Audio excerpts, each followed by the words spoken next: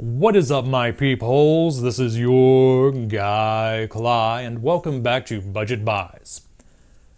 Now, today's video is going to be a little bit different from the norm in that I'm not so much talking about a piece of tech, but more so a piece of tech storage. This little guy right here. Now, the reason I picked this up is because I recently bought a new mic to use on my coming podcast, and I cannot stand the storage solution that they shipped with it. Now, the mic in question is the Audio Technica 2020. Don't worry, I'll be doing a full review on this at a later date. And the storage solution that they included is a standard Audio Technica mic bag. Now, I can't stand this thing, but I do seem to be alone in my opinion when it comes to a lot of the reviews that I've seen online. It's just, I don't trust this with a delicate piece of equipment. Yes, it will protect your mic from scuffs and scratches, but if you're clumsy like me, you're going to end up taking this on the road with you and potentially dropping the mic while it's in the bag, which can lead to a dented mic or, at worst, dislodged components. Or, worst case scenario, you're going to have something fall on top of the bag and squish goes the microphone. Not exactly a good day. And of course, if you drop this in a body of water for some reason, it's just going to sink. Now, admittedly, they have improved the bags because I also have one of their older bags that came with the AT822 that I thrifted a while back for five bucks. And it seems like they've doubled or so the amount of padding that's inside the bag. And if you're wondering why it's bulgy despite the fact that my mic is over here, that's because I am using it to store a Samson Q2U that I also need to review at a later date. Now, this little guy is the Apache 1800 that I picked up at Harbor Freight for a whopping 15 bucks before the coupon. I had a 20% off coupon because Harbor Freight always offers a 20% off coupon. So this actually only cost me $12. That's a big score in its favor. Even better is the fact that I actually spent a lot of time looking for a case on Amazon. I stumbled across this one on accident, actually. And a slightly better version of the mic bag will cost me 20 bucks, and that just means it's a little bit more rigid, has a bit more padding inside, nothing special. If I want to get something more custom fit to the mic, it will cost me about 30. And if I want to get something akin to this, I could go with the thing that this is actually ripping off, the Pelican 1120, which goes anywhere from 30 to $45 online. Now, let me show you what makes this special. I'll just flip it around right now. Pop it open. There we go. You'll notice that I have a nice cavity that is the exact same shape as my new microphone.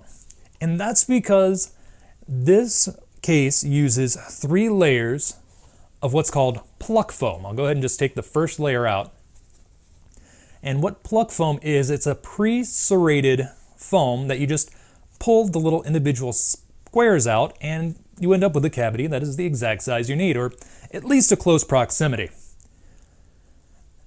I want to say that it's really, really awesome that this uses three layers because a lot of the cases that I found online for the microphone tend to just use a single layer. So you're going to have this entire cavity filled with just one single piece of pluck foam.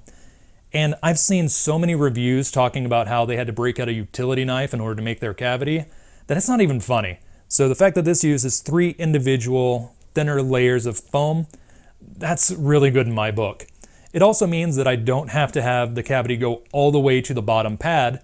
Instead, I can just stop one above, which gives me a nice little level surface as opposed to having to dig down deep in order to get my microphone out.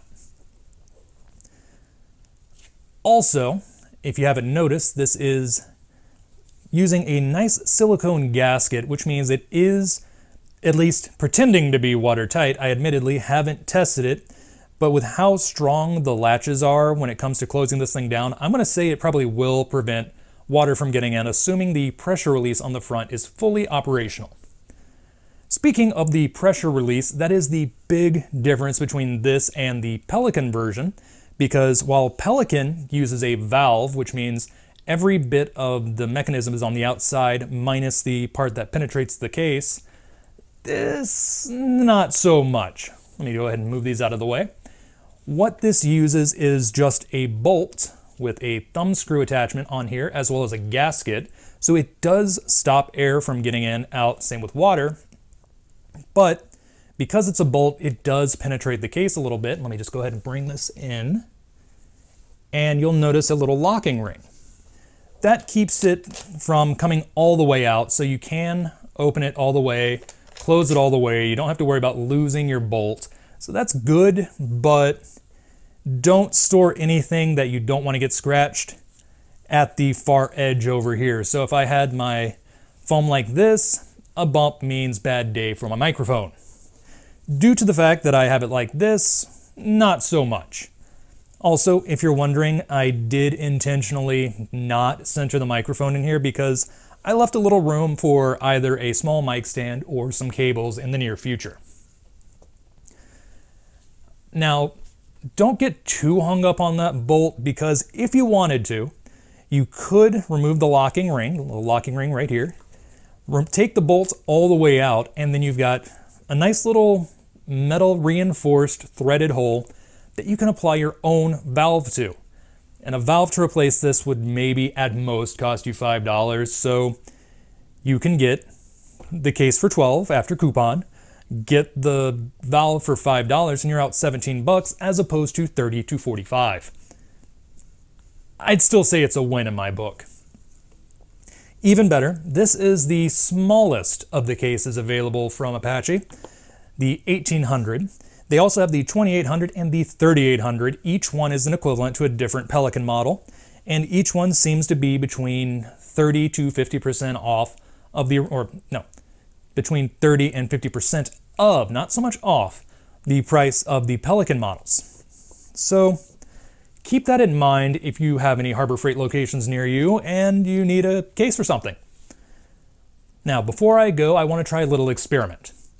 I've noticed if I use the word podcast in a video, or the description of a video, or the keywords of a video, or basically anywhere in my metadata, the video gets flagged as not potentially suitable for all advertisers for the first day. It does eventually swap back, but it really only seems to affect the videos where I say podcast. So I'm going to be saying podcast a few more times. I'm going to be inserting podcast into my description, and of course, I'm going to be inserting podcast into my keywords. I think I've said the word podcast enough, and if you're not already excited about the fact that I have a podcast coming, well, you should be. Anyway, that's that experiment, that's this case, and I want to go ahead and say until next time, this is your guy, Cly, signing off.